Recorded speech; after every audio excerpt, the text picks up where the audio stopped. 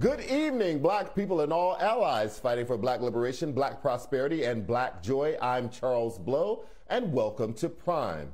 Law enforcement is on high alert, and D.C. police say that they will be all hands on deck as protective fencing around the Capitol was reinstalled ahead of a Justice for J6 protest planned for Saturday. The worry is that this could be a sequel to the January 6th riot like an insurrectionist attack the Capitol's part two. But instead of questioning the safety and necessity of protests like that, you have governors like Florida's Ron DeSantis with his new anti protest law more obsessed with criminalizing black joy. Chief U.S. District Judge Mark Waller, uh, Mark Walker in Tallahassee recently ruled against the governor, saying he was wrong to equate, equate community celebrations of Juneteenth with that of a protest. And for that, the judge has temporarily blocked DeSantis' sweeping anti protest measure, which was signed into law in April. But his state is not the only one to enact anti protest laws since last summer, which are, by the way, mostly aimed at black people. According to the International Center for Not for Profit Law, which tracks anti protest laws, 20 states have enacted such measures since 2017. Many of those governors have not been vocal about Saturday's protests, which, according to the Department of Homeland Security, could have up to 700 people. So, where's the anti protest outrage for that? Joining me now to discuss is co founder of the LA chapter of Black Lives Matter, Dr. Melina Abdullah. Dr. Abdullah, why is it so profoundly problematic to criminalize peaceful protest?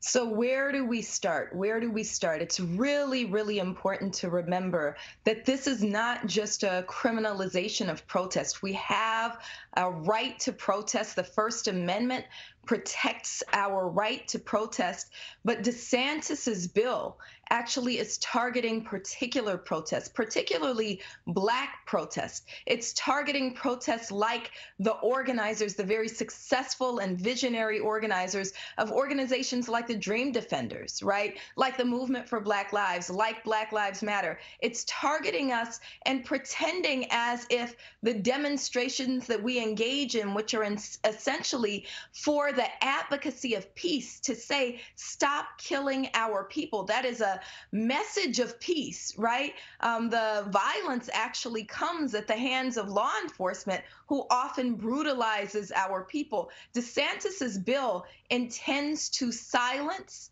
and um, really stop the voices of dissent, right? The voices that say that we have a right to be. DeSantis's bill also protects the real perpetrators of violence. It protects people who want to mow us down with their cars. It protects um, police who want to brutalize us with billy clubs and uh, pepper spray and sometimes stun guns, rubber bullets, and even real bullets. And so this is a huge problem, and it's not just a problem that stays in Florida. We see copycat bills all across this country, and we have to stand for our right to speak up on behalf of our people. What is the specific language in the bills that target these kind of social justice protests, but not say people who are protesting masks in schools?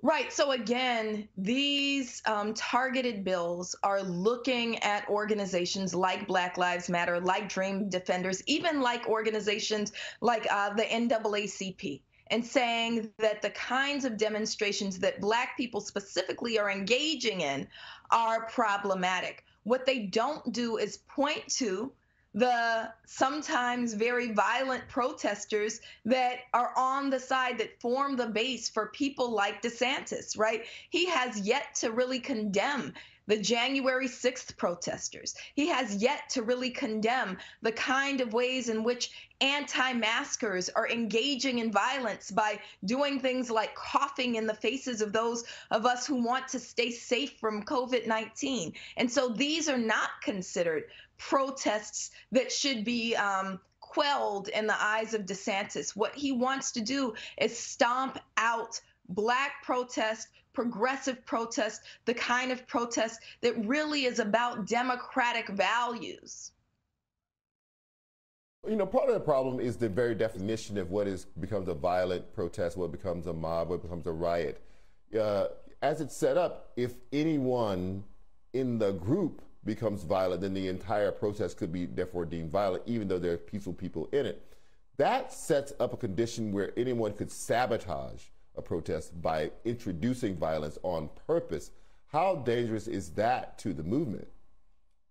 That's extremely dangerous. In fact, there's several research studies that show over the last year and a half, there have actually been um, provocateurs placed into crowds that do things like hurl bricks, that do things like spray graffiti, and many of them are actually um, working for someone other than the people, right? They're meant to be provocateurs. They're meant to kind of quash the message of the protest. So when we were standing up almost on a daily basis demanding justice in the name of George Floyd, demanding justice in the name of Breonna Taylor, demanding justice the, in the name of people like Dijon Kizzee in Los Angeles. Those of us who were engaging in this work um, would sometimes be met with people that we'd never seen before, largely uh, non Black folks who would um, then be engaging in ways that were not really organized by those of us who were organizing the protests.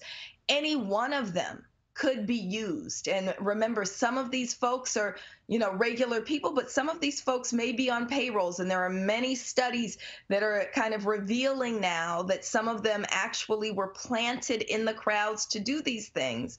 Um, they could turn the protest, quote unquote, violent. So you don't have to be engaged in violence in order to be considered and swept up under this new law. And so what this is meant to do is have a chilling effect on demonstrations, make people second guess um, their right to actually demonstrate because our behavior then becomes bound together with everyone in a crowd, crowds that sometimes are hundreds and thousands, even tens of thousands or hundreds of thousands in the cases of some of the protests of last summer. And so this is a very dangerous, and I would say um, uh, it's a dangerous bill, but it's also unconstitutional. And so we have to be very, very careful about what these kinds of bills might mean. We also have to make demands of lawmakers who might not be as far right as DeSantis in cities like mine. I live in Los Angeles.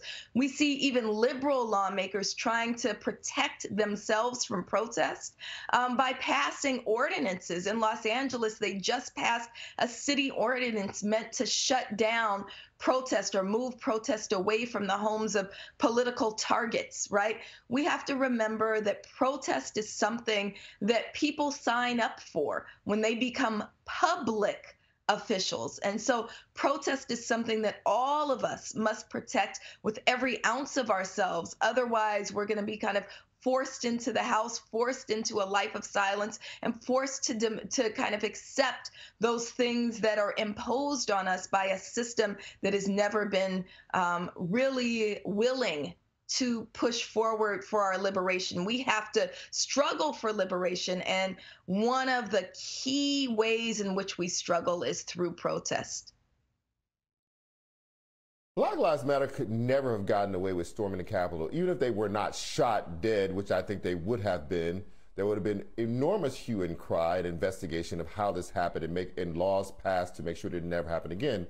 But Republicans have consistently defended uh, the people who stormed the Capitol.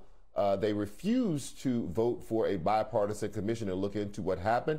And now that we have a new protest coming this Saturday, Republicans on Capitol Hill are distancing themselves from that protest, but not vocally condemning it. What do you make of the hypocrisy around attacking the protests of people who are protesting for social justice and kind of turning their back on the uh, insurrectionists and, and pretending that it is not as big a deal as it actually was?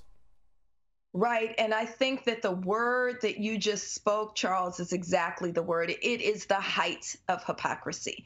When you talk about Black people who are demanding that our people get to live and walk freely, who are demanding that people don't um, have knees ground into their necks until their breaths are gone, right? Who are demanding that Black women have a right to sleep peacefully in their homes, who are demanding that Black men like Dijon Kizzee have a right to ride their bicycles at 1 p.m. on a weekday in their own neighborhoods, right? Those are peaceful demonstrations. Those are demands for peace. But when we talk about really what is white supremacist terrorism in this country, we don't see condemnations by those who are claiming that they are trying to shut down things that um, lead to violence. They are willing to accept and even um, willing to kind of accept the benefits um, for their political wing that come from white supremacist violence and white supremacist terrorism, even as they attempt to quash the black folks and allies who are saying, we simply want to be able to live and walk in peace.